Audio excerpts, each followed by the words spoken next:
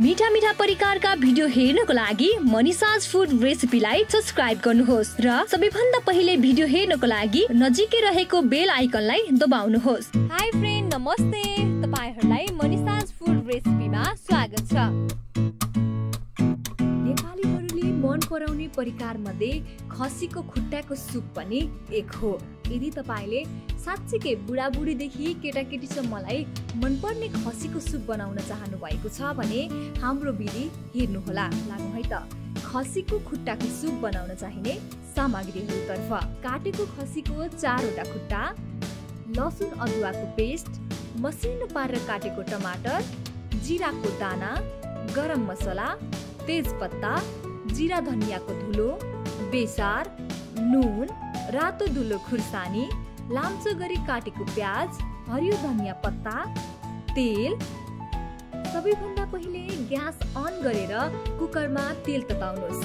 तेल तातेपछि त्यसमा जिरा हल्का खैरो भइन्जेलसम्म पुर्याउनुहोस् अनि त्यसमा प्याज र तेजपत्ता हालेर फ्राई गर्दै हल्का गोल्डन ब्राउन भएपछि त्यसमा खसीको खुट्टा बेसार र नुन पनि हालेर एकैछिन फ्राई गर्नुहोस्। फ्राई गरेपछि त्यसमा गरम मसला जिरा धनियाँको धुलो रातो धुलो खुर्सानी लसुन अदुवाको पेस्ट र टमाटर पनि हालेर केही समय फ्राई गर्नुहोस्।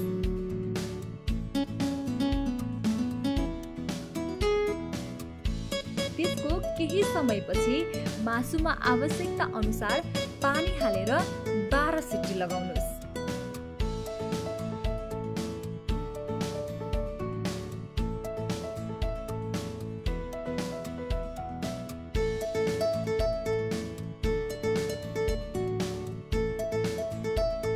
अन्तत कुकरको बिर्को खोलेर हरियो धनियाँ पत्ता हालेपछि खसीको खुट्टाको सुप हेर्नुहोस् त खानको लागि तयार भयो। तपाईँलाई हाम्रो भिडियो कस्तो लाग्यो मन परेको छ भने लाइक सेयर र कमेन्ट गर्न नभुल्नुहोला। तपाईँ यस्तै मिठा मिठा परिकारको भिडियो हेर्न चाहनुहुन्छ भने मनिसाज फुड रेसिपीलाई सब्सक्राइब गर्नुहोस् अनि नजिकैको बेल आइकनलाई दबाउनुहोस्।